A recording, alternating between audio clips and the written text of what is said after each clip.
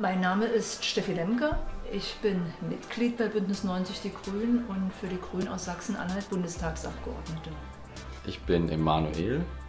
Ich arbeite mittlerweile in der Grünen Landtagsfraktion als Referent für Umwelt, Landwirtschaft, Verkehr, Energie und Klima.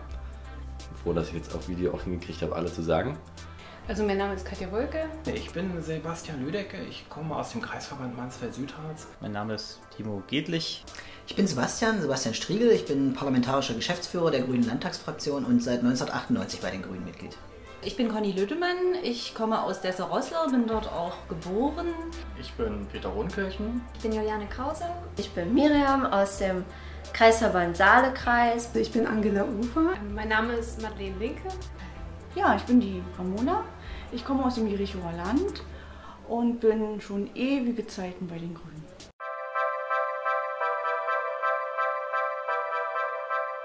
Ich komme aus einer äh, kirchlichen Familie, Katholizismus in der DDR war also alles entsprechend kompliziert, durfte auch in der DDR nicht studieren und das ist sozusagen der Anfang auch meines politischen Denkens. Äh, in der Wende da neues Forum, Bürgerbewegung, auf der Straße, hinter den Kulissen, all diese üblichen Sachen.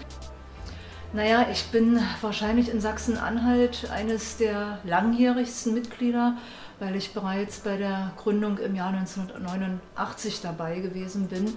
Und für mich war das in der Wendezeit völlig selbstverständlich, zu den Grünen zu gehen. Ich komme aus der DDR, einem System, was ich politisch grauenhaft fand, wo es nur eine Meinung gab, die richtige oder die falsche.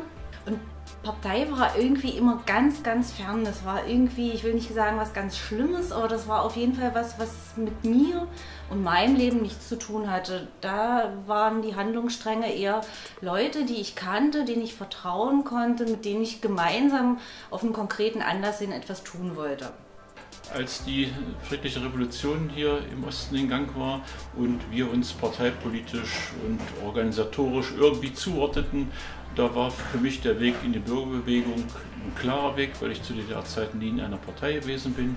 Also und ich wollte mittun und ich wollte mitgestalten, denn ich glaubte, wer früher nicht ganz so aktiv gewesen ist in der DDR, der hat jetzt die Aufgabe, jetzt auch mit anzupacken. Und da schieben wir Bündnis 90, die Grünen und alle Vorläufer genau die richtige Adresse zu sein. Und dann gab es mal so eine Situation, ne? ich weiß gar nicht mehr, worum es ging. Ne? Auf jeden Fall, äh, wer ist jetzt dafür? Ich mich auch gemeldet. Na, ja, natürlich, du kannst hier nicht mit abstimmen. Ich, wieso? Ich bin noch immer dabei. Das war ja, war ja praktisch meine Idee. Ja, du bist nicht Mitglied. Für mich ist heute ein ganz besonderer Tag, denn ich war am, vor 25 Jahren zum Gründungsparteitag der Grünen Bündnis 90 dabei in Leipzig. Und insofern habe ich heute große Emotionen hier. Ich habe mich vorher in einer Initiative engagiert, die sich auch in der DDR für Umweltschutz eingesetzt hat.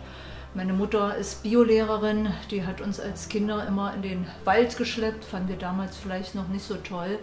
Und politisiert worden bin ich, glaube ich, sehr stark durch mein Leben in Dessau, in meiner Heimat wo auf der Mulde früher meterhohe Schaumkämme trieben, weil das der Abwasserkanal von Bitterfeld und Wolfen gewesen ist.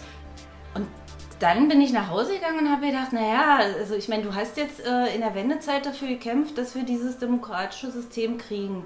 Der Träger dieses demokratischen Systems sind die Parteien und das, was da umgesetzt wird, das ist ja auch genau das, was du willst.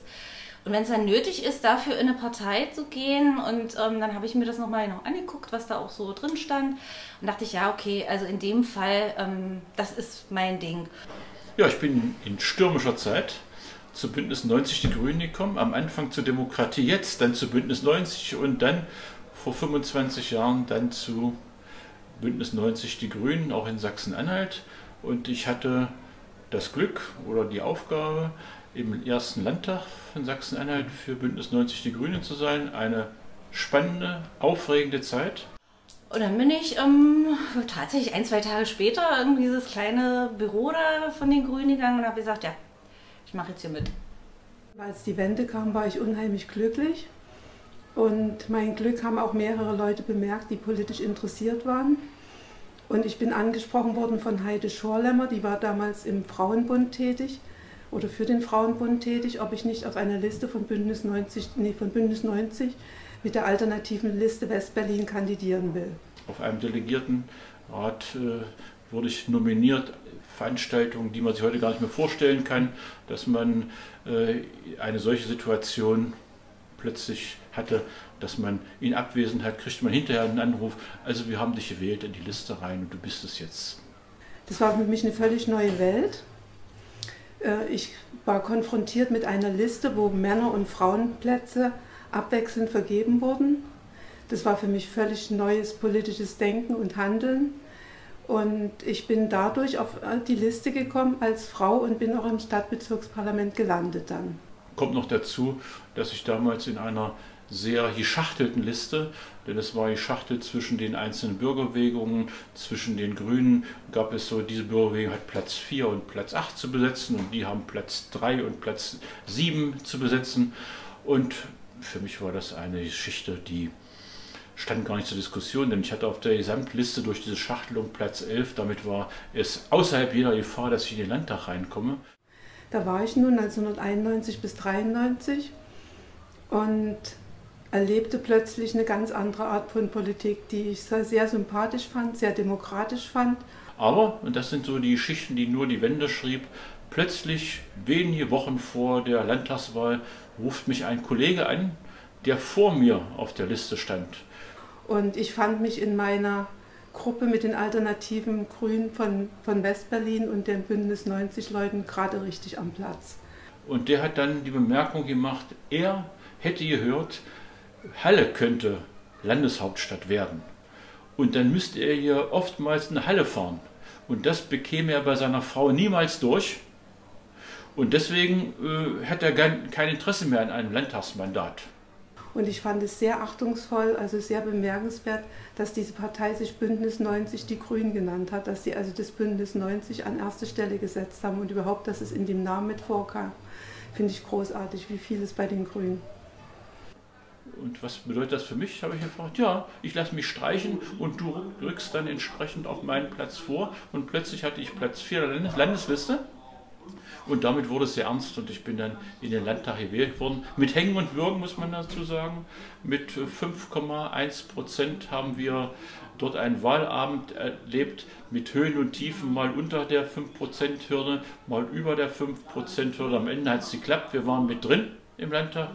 Und dass ich dort heute mit meinem Sohn baden gehen kann, auf der Elbe paddeln gehen kann, das wäre damals nicht vorstellbar gewesen, dass das eine so wunderbare Naturlandschaft wird. Deshalb bin ich bei den Grünen, damit das so werden konnte und damit das so bleibt. Ehrlich gesagt, ich bin ja länger grün, als die Grüne Partei gibt. Ich erinnere mich dran, wie ich 76 im Regen in der Kälte vor der französischen Grenze stand und gegen Cattenom, das Atomkraftwerk in Cattenom, äh, protestiert habe. Ich weiß gar nicht mehr richtig, warum ich zur, zur Grünen Hochschulgruppe wollte. Aber ich wollte es auf jeden Fall sehr dolle, das weiß ich. Denn wenn ich jetzt zum Beispiel bei Facebook noch äh, in die Historie gucke von den Nachrichten, dann sehe ich immer noch Nachrichten von mir von vor vier Jahren oder fast fünf Jahren, glaube ich ähm, in denen ich verzweifelt versuche, die Grüne Hochschulgruppe im Café Zentral zu finden, was damals noch äh, in der Leibnizstraße war. Und die waren immer irgendwie nicht da. Und ich war irgendwie zu der vorlesungsfreien Zeit irgendwie dort und komischerweise waren dann die Menschen immer zur Zeit des Stammtisches nicht da und da sind verzweifelte Nachrichten so, hm, ich versuche schon zum dritten Mal am Stammtisch zu kommen, aber immer ist keiner da. Ich sollte erzählen, wie ich zu, zu Grünen gekommen bin. Und zwar hat mich meine Tanzpartnerin in Mannheim äh, mit zur Grünen Jugend genommen. Und die war zu diesem Zeitpunkt, die Grüne Jugend, nicht so gut organisiert. Und das fand ich ganz schrecklich. Weil ich dachte, da muss man noch mal ein bisschen was machen. Aber so richtig in die Partei eingetreten bin ich erst 2007, weil ich einfach als Wissenschaftlerin ganz viele wechselnde Wohn- und Arbeitsorte hatte. Und dann eingetreten, tatsächlich äh, Beginn des Jahres 2018 nicht. Das ist immer sehr lustig, weil das zur gleichen Zeit war, wo sehr viele Leute in die SPD eingetreten sind. Aber ich bin bei den Grünen eingetreten. An meinem zweiten Tag in Magdeburg bin ich in die LGS, damals noch außerparlamentarische Opposition, zu Wolfram und Uwe gegangen und habe gesagt, ich mache jetzt mit und das wird super. Und äh, im Dezember bin ich zur Klimaschutzdemo nach Kopenhagen gefahren und habe auch einen Bericht für die Homepage geschrieben und das war der Anlass, wo ich dann auch in die Grünen eingetreten bin. Naja, und dann ging es natürlich ganz schnell in die Verantwortung, Stadtverband, Landesfachgruppe Bildung, Landesvorsitzende, Spitzenkandidatin, Fraktionsvorsitzende. Also meine Anfänge in der Grünen Partei hier bei uns in Sachsen-Anhalt ist halt geprägt durch die außerparlamentarische Opposition, als wir wenig Leute waren, wenig Geld hatten, wenig Unterstützung hatten. Äh, und umso mehr ist natürlich für mich prägend äh, der März 2011, als wir dann endlich nach 13 Jahren wieder in den Landtag gekommen sind. Also ich muss zugeben, dass, es, äh, dass ich ähm, während meiner Schulzeit nicht sehr politisiert war. Das fing dann im Abitur, so 2013, 2014 an. Und letztendlich, ähm, als dann die AfD hochkam, war das dann der Punkt, an dem ich gesagt habe, jetzt muss ich was ändern, jetzt muss ich mich auch irgendwo beteiligen, um dagegen zu steuern. Was hat dich politisiert? Ich war schon immer politisiert. Ich war nur noch nie aktiv in einer Partei weil immer irgendwas dazwischen kam. Und nur war aber der, der Leidensdruck so hoch durch den Einzug der AfD, dass es jetzt kein Wenn und Aber mehr gab. Ich habe mich ähm, beworben für ein Praktikum in der Landesgeschäftsstelle, was mir super gut gefallen hat, weil man sehr herzlich aufgenommen wird und sofort integriert und es da überhaupt keine Berührungsscheu gibt. Und danach habe ich mir gedacht, da musst du jetzt einsteigen, das macht dir so viel Spaß. Und deshalb bin ich eingetreten und es ist ja bei den Grünen so einfach, wenn man äh, etwas machen will, dann bestehen auch hier sofort sämtliche Möglichkeiten, alle Türen. Und das äh, hat mir einfach noch mehr Motivation gegeben. Ich engagiere mich jetzt in der Landesfachgruppe Frauen. Da ähm, machen wir frauenspezifische Themen. Da geht es zum Beispiel um Frauenarmut und um Frauen, also Gewalt an Frauen und äh, ganz wichtiges Thema Frauen in kommunaler Politik, denn da müssen wir auch kräftig vor, äh, vorantreiben, damit äh, Frauen endlich mal mehr Stadträte besetzen. Und gerade für Frauen gibt es in keiner anderen Partei so viele Möglichkeiten, weil wir einfach auch die sind, die wirklich ganz offensiv Frauen fördern. Und äh, ich hoffe, dass es auch die nächsten 25 Jahre hier im Land ähm, nicht nur weitergeht, sondern auch noch mehr wird. Ich glaube im Sommer 2010 ähm, auf einem Parteitag in Magdeburg. Es war unfassbar warm. Es war gleichzeitig irgendeine Fußball-Weltmeisterschaft. Ich habe damals in Mannheim gelebt und ähm, ich habe in der Nähe einer Kaserne gewohnt. Wir haben da völlig unter uns getagt, ähm, aufgrund dessen, dass eben Fußball gespielt worden ist. Und äh, was total bemerkenswertes passiert, da war so eine Gruppe von jungen Delegierten, angeführt von einem damals 14-Jährigen, und der hatte die Idee gehabt, wir wollen statt eines verpflichtenden äh, Ethikunterrichtes Werteunterricht einführen. Als der Irakkrieg dann anfing, haben wir vor dieser Kaserne eben demonstriert habe dort die Grüne Jugend ähm, auch gesehen, wie sie damit demonstriert hat und dadurch bin ich eigentlich zu der Partei gekommen. Und er war wenige Wochen erst in der Partei, hat da eine fulminante Rede gehalten und hat sich durchgesetzt. Keine, niemand kannte den, hat aber mit guten Argumenten es geschafft, sich da durchzusetzen und das fand ich total beeindruckend, dass die äh, Bündnis 90 die Grünen eine Partei in Sachsen-Anhalt sind, die das einzig und allein nach dem inhaltlichen Wert äh, dessen äh, beurteilt hat äh, und nicht wer da redet. Ja, in den anderen, vielen anderen Parteien ist es so, da kann man Abstimmungen nur gewinnen, wenn man einige politische Schwergewichte auf der eigenen Seite hat.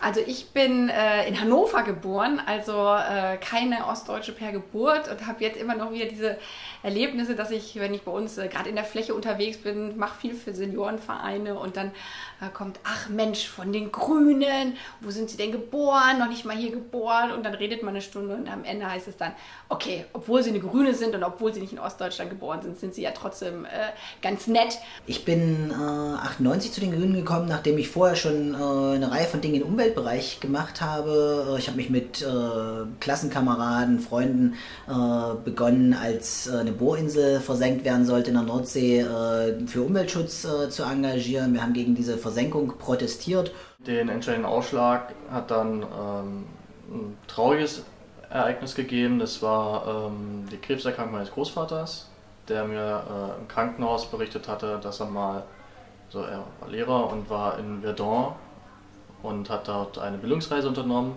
und hat von, diesem, von den Eindrücken erzählt und äh, dass er sich selbst damals geschworen hat, dass er nie wieder äh, so eine Tragödie zulassen will.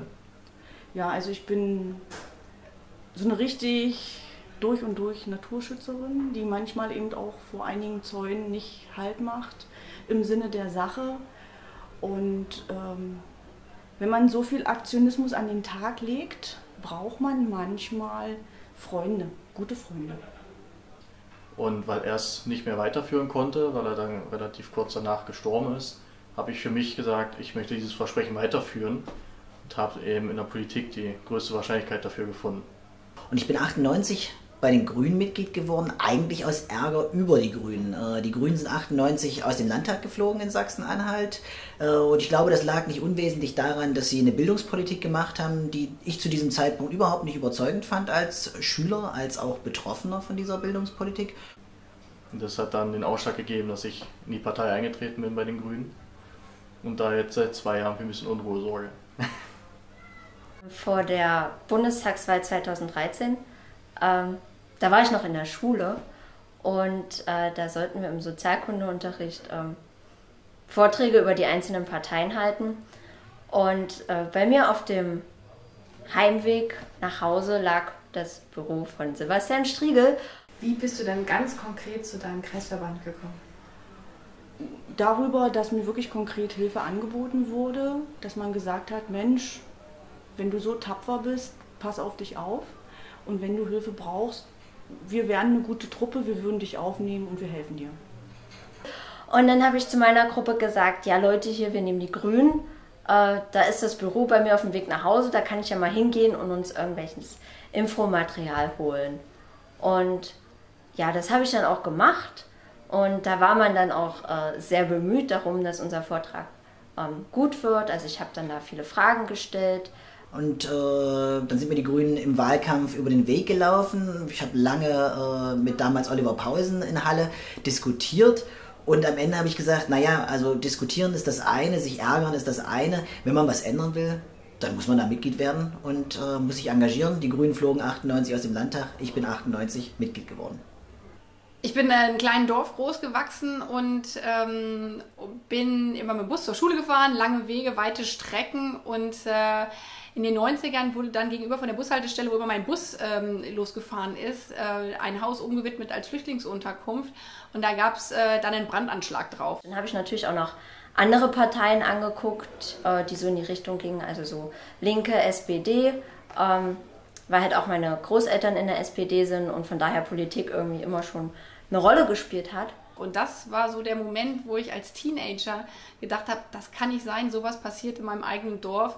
Und habe gedacht, äh, so sowas äh, will ich nicht weiter einfach akzeptieren. Haben wir eine Schuldemo mit äh, organisiert. Aber die SPD hat dann doch so ein, so ein Stückchen äh, abgeschreckt, weil die immer gleich schon mit dem Zettel dastand und gesagt hat, ja, dann werd doch Mitglied und mach und wir brauchen junge Leute und wir brauchen Frauen und immer schön Mitglied werden. Und das war halt bei den Grünen nicht so. Da stand niemand da und hat gesagt, ja, du kannst jetzt hier nicht weitermachen, wenn du nicht Mitglied wirst. Und dann habe ich mir das erstmal ein Jahr angeguckt und ähm, ja, das war dann so eine Mischung aus Themen und Personen, ähm, weshalb ich dann irgendwann gesagt habe, gut, ich habe mir das lange noch angeguckt, jetzt kann man ja mal Mitglied werden und mitmachen. Und das hat mich eigentlich äh, dann richtig politisiert, obwohl ich vorher schon äh, gerade am äh, Umweltschutz im Greenpeace-Team äh, sehr interessiert war. Gesagt habe, so jetzt will ich mich mit einmischen und erst als Journalistin und dann bin ich äh, in die Partei eingetreten und habe gesagt, wir müssen richtig was ändern.